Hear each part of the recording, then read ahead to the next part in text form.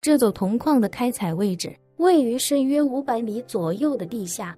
叶辰让李念宗以及被自己控制的节度使一起带着众人乘坐升降冠龙前往死士的驻地。一路向下时，李念宗向叶辰介绍起了这座铜矿的具体情况。经过几十年的不断发展，这座铜矿的内部已经极其的错综复杂。它一共由三个部分构成，第一个就是铜矿正常的开采部分，包括巷道、开采面在内；第二个。则是死士以及死士亲属生活的部分。第三个是所有物资与设备存储的部分。从井口下到最底部，其实只是下到了铜矿的工作面。下去之后，便能看得出，这是一个非常标准的中型铜矿，所有的设施设备都是生产所需，完全看不出任何异常。叶辰在李念宗的带领下，从灌笼走出来，看着幽深的矿道。好奇地问道：“死士及其亲属平时住在哪里？”李念宗连忙道：“回叶先生，海拔负五百米的这个平面，全都是铜矿的工作面，死士生活的区域要从前面一个隐秘的暗道里进去，乘坐另一台升降灌龙再下去一百米。”叶辰点了点头，问他为什么这里现在没人工作。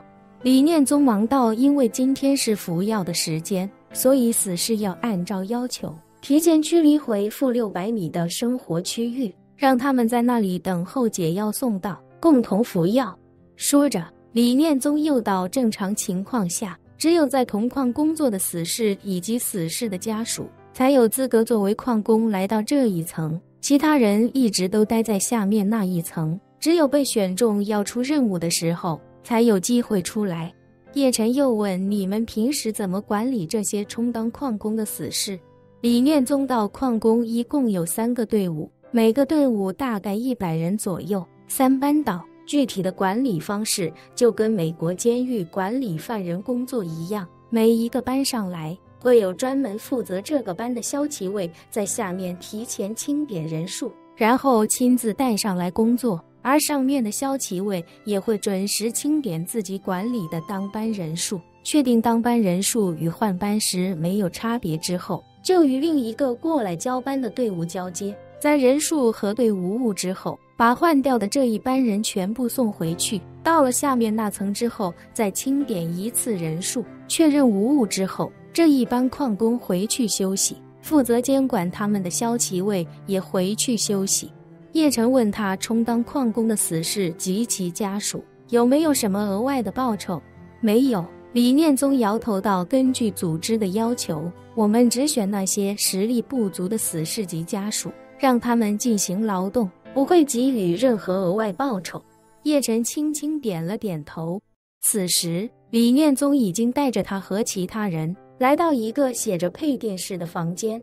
一进房间之后，跃入眼帘的首先是井井有条的电路设备，但随着李念宗在墙上的一组配电柜内操作片刻，紧接着整面墙便忽然向内缓缓开启。叶辰从门框的侧面能够看出，这面伪装城墙的大门厚度有差不多将近一米，而且两侧都有非常厚的钢板加固。莫说武道高手，就算是普通的重火力，也不可能将这堵墙炸开。而在这堵墙的背后，竟然是一个硕大的机房。这机房实际是一座重型电梯的设备及操作间，在机房下方便是一台硕大的升降灌笼。李念宗带着众人走上灌笼，用自己的虹膜将灌笼启动，随后这台灌笼便带着众人继续向负六百米海拔的深处下落。在灌笼向下运行的过程中，李念宗对叶辰说道：“叶先生。”这里所有的安全设备都是单向的，刚才那扇暗门以及这台升降灌笼都只有我们从外面才可以操作。除此之外，灌笼到了底部之后，还有一扇从外开启的大门，也是只有我们从外面才能打开。叶辰问他：“这应该就是死士驻地通向外界的唯一通道了吧？”没错，李念宗点头说道：“死士只能靠个通道进出。”不过，他们的驻地还有大量钢制的通风管道。不过，那些管道最粗的内径也只有十一厘米，人是根本出不去的。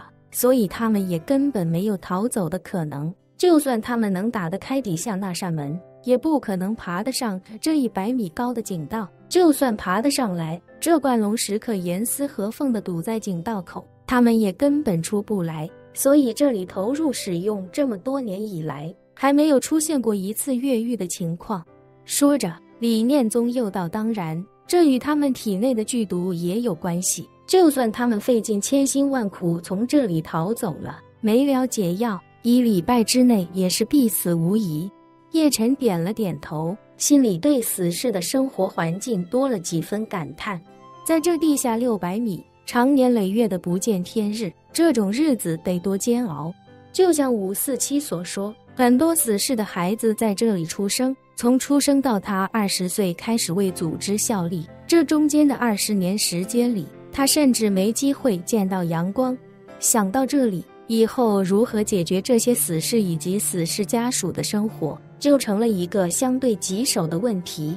叶晨自然不想继续让他们住在六百米深的地下，但这座铜矿在外界眼中就是几百人的规模，所以。如果把这些人弄到的上去，地面的建筑也根本承载不了这么多人。这时，冠龙已经一路来到最底部。